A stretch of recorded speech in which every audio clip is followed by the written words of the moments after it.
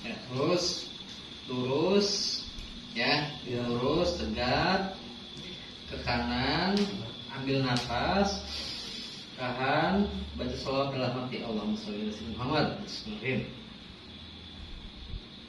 Hmm. Buang. Sekali lagi. Tegak, dulu. Tegak, ambil kanan, tarik nafas, tahan sebentar, baca salawat Allahumma sholli Muhammad. Buang. Tarik dulu. Tuh keluar, bentar. Sini dulu. Sini.